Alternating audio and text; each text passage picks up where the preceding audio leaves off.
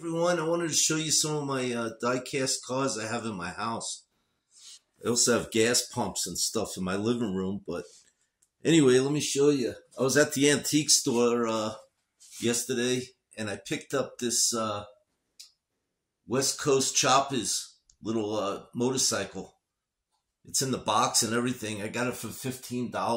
Can't even get them anymore. They used to sell them at Walmart but now you can't even get them anymore.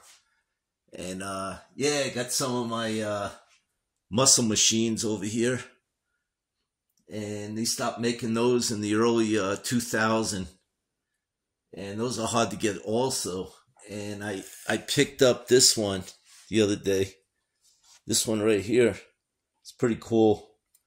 I got it for uh, thirty five dollars. Guy wanted forty, and then um, you know, after tax, it was like a little more, but you know, I see them going as high as 50 bucks to all the way to 100 online. So I think I did okay.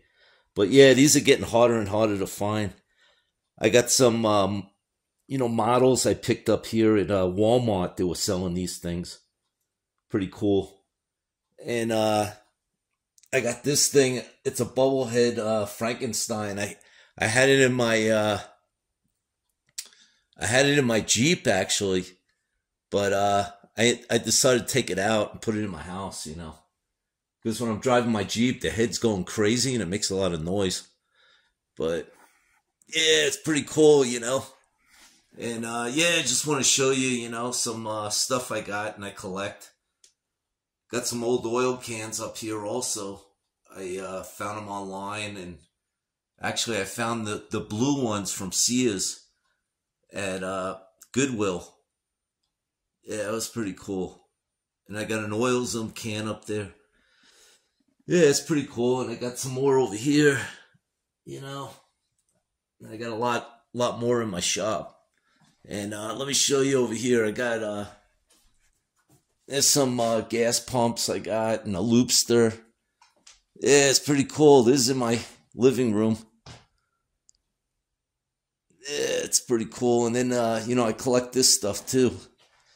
Little Hot Wheel cars, you know. Pretty cool. And there's a Rat Fink. And another another gas pump over here. And I got a jukebox. Yeah, it works great. And uh, yeah, I've been uh, doing some puzzles too over here. It gives me something to do in the winter. Yep. All right. Well, hope you guys, you know, enjoy the video and everything. And uh, don't forget to subscribe to the channel and uh, keep watching them. All right. Take care.